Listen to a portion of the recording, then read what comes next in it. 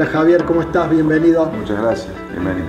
Javier, eh, sos una persona que tiene vasta experiencia en el mercado de la consultoría en Córdoba. ¿Cómo ves? ¿Cómo está el sector?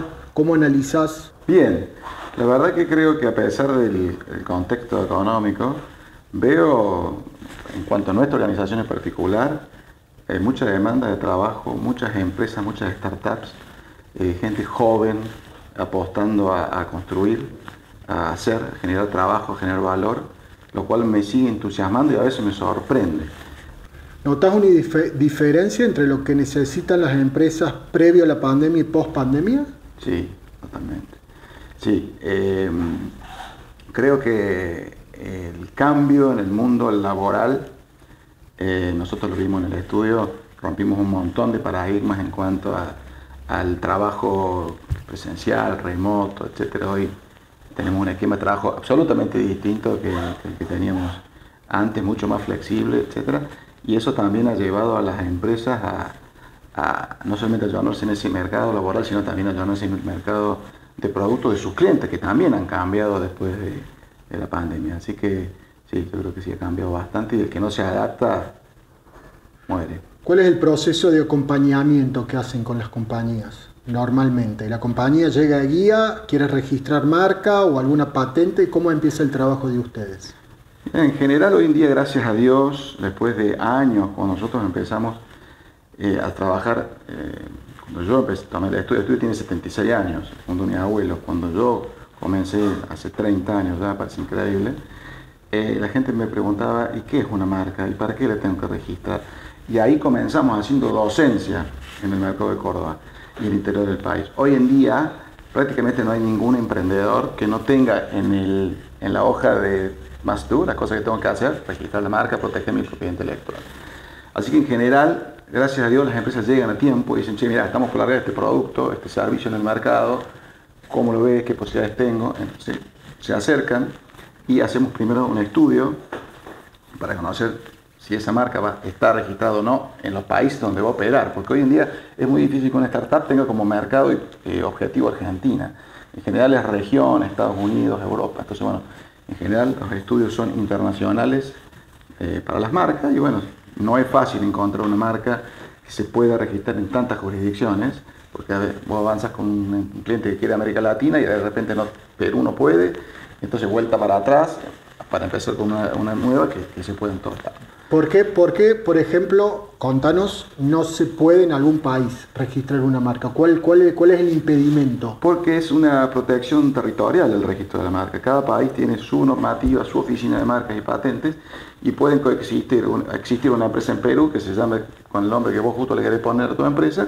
Entonces, en el informe le, le vamos a decir, mira, la podés registrar en todos estos países, pero en Perú no. Ahí viene tu tarea de asesoramiento. ¿Qué hacemos frente a esa situación? Exactamente. Exactamente, hay que ser muy cauteloso, muy cuidadoso en elegir bien la marca para garantizarle al cliente que no, se encuentre con problemas después. Entonces a veces eh, nuestros clientes un poco se, impacientan a veces porque los, hacemos demorar mucho en el estudio y en, encontrar la marca correcta para que después todo vaya rápido. Porque si empezamos, si queremos ir rápido en principio, después vamos a ir lento en el final, ¿me entendés? ¿Te ha pasado, Javier, que clientes antes de fijar su marca te hayan consultado? Sí. O sea, muchas veces vienen y me, dicen... ¿Qué te parece, Javier? Esta... ¿Qué te parece? Estamos pensando y me traen dos, tres, cinco opciones y bueno, ahí eh, los ayudamos a... generalmente eh, el emprendedor muchas veces trata de poner marcas evocativas. ¿Qué quiere decir? Que quieren que el, usuario al leer la marca sepa de qué se trata. Nosotros le decimos que ese tipo de marcas son buenos para productos de eh, estación, por ejemplo, para un verano, para un invierno. pero no permanentes. pero no para el largo plazo, porque vos no podés construir valor en algo tan efímero, ¿entendés? Atendés, atendés perfiles de clientes variados, desde el más chiquito hasta la empresa más grande, ¿no?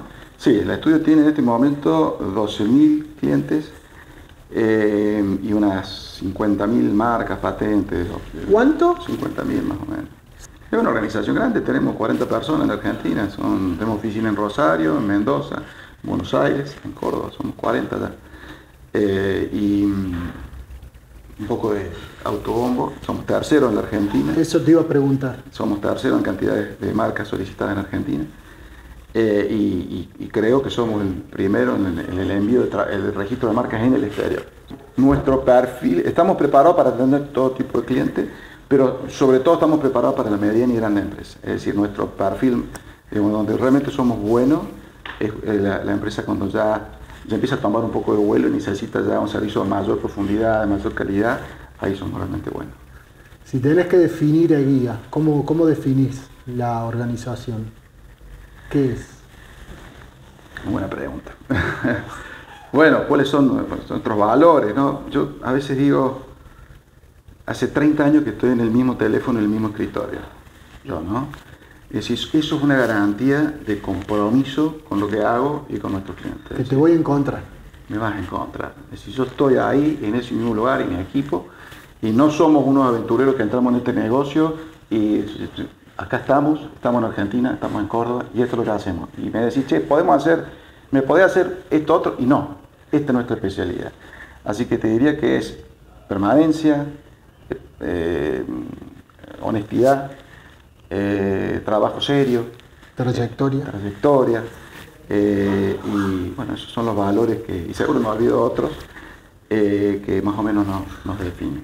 La última, Javier, me planteabas que hay muy poquitas empresas en Córdoba con 70 y pico de años, como tienen ustedes. Nosotros cumplimos 76, ahora el 12 de marzo.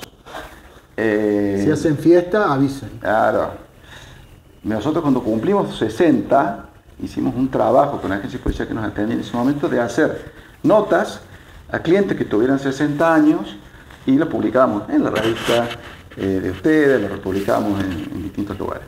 Y nos costó un montón encontrar empresas con más de 60 años en Córdoba. Eh, realmente ahí nos quedamos sorprendidos de la tasa de mortalidad de empresas que tiene Argentina en general y Córdoba. Eh, y también lo vemos cuando llamamos a los clientes para renovar sus marcas, muchos son proyectos que no prosperaron, fracasaron, se fue, se mudó de país, etc. La verdad que Argentina es bastante hostil para los negocios, eso lo sabemos todos. Gracias Javier por venir. Un placer, gracias por la invitación.